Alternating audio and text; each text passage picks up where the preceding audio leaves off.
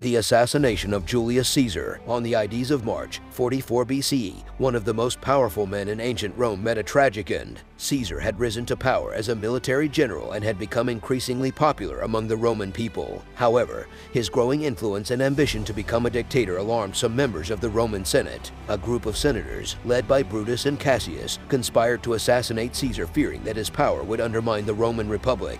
As Caesar entered the Senate chamber, the conspirators surrounded him, stabbing the dictator multiple times. The assassination of Julius Caesar sent shockwaves throughout Rome and plunged the city into chaos. The conspirators hoped to restore the Roman Republic, but instead they unwittingly set in motion a series of events that would lead to the rise of the Roman Empire.